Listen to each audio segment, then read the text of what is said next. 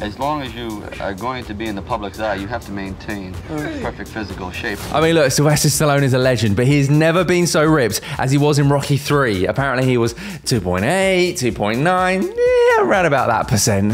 Killing it. If I know a scene's coming up, uh, let's say a scene that's going to be not very physical but extremely dramatic, and I have to be uh, cutting edge anger.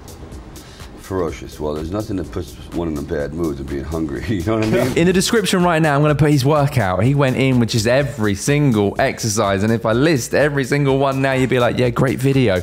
Dislike. So it's there. You want to check it out? You want to see what he did? It's everything. It's in the description. If I know there's a action scene coming up, I'll start eating, like, say, French toast, pancakes, anything that has a great deal of starch, hmm. pasta, whatever, oatmeal. Big oatmeal is one of my main.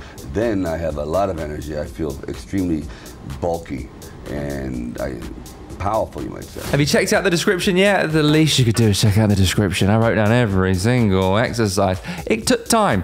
And if you're thinking, how did he do so many? Of course, he did two days. He did two workouts a day, six days a week to get ripped for Rocky. Let's get into that diet. It was eggs, chicken, greens, French toast, pancakes, oatmeal, and starches. But when he wanted to get real ripped for Rocky, he dropped the calories down low.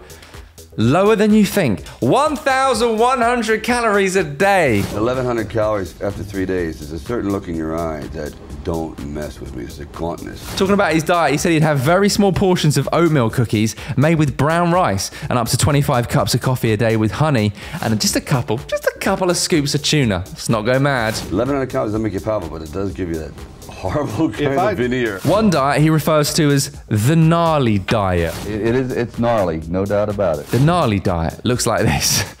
One protein meal in the morning, oatmeal, three to five eggs without yolks, just keep that fat down, and two protein shakes at just 225 calories each. Hence his cheat days were insane. Oh, Sylvester knows how to cheat. If it was Saturday night, I could deal with it. Because I knew, because usually I cut off Saturday and Sunday is a freebie. Monday to Friday is I'm, I'm like uh, in the army. But the weekend, because you have to have a you have to have a release. Otherwise, you would blow up. You, you'd go. You would self-immolate. You'd kill yourself. You have to have some something to look forward to. I remember Mr. T and I when we were doing uh, um, Rocky Three. We got down to like 2.8, 3% body fat, and we look for the for the weekend. At the end of the weekend, we always have vanilla ice cream. I kept saying, but we start Monday. Is ice cream there? Ice cream there? Ice cream there? Yes. Sorry, there's ice. And we start to salivate. By Friday, we'd run in there, and the guy brought mint green. And Mr. T and I literally took the guy and put him in the freezer.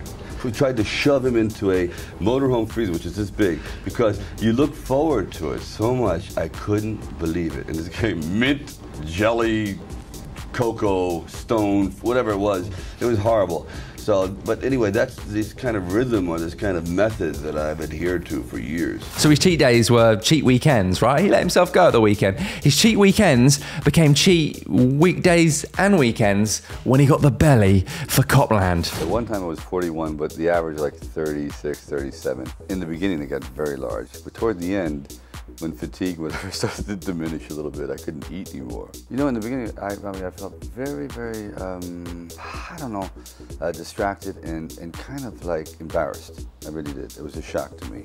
And then I thought, this is all vanity. This is true narcissism. And until I can understand this and live with myself, I really can't play this character and I can't be like a normal human being.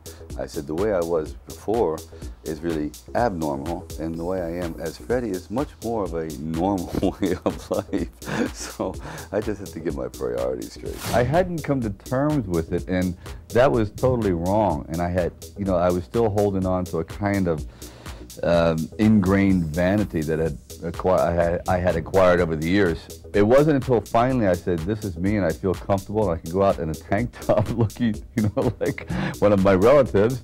I uh, I finally had come to full circle, but it took a while. You know Jimmy? I never felt actually better than when doing that. Hey, hit me up in the comments real quick. Sylvester Stallone, natty or not? No, that's not the question. The question is best action star of the 70s. Yeah, Rocky came out in the 70s, 70s, 80s, and 90s. Let me know your thoughts right now.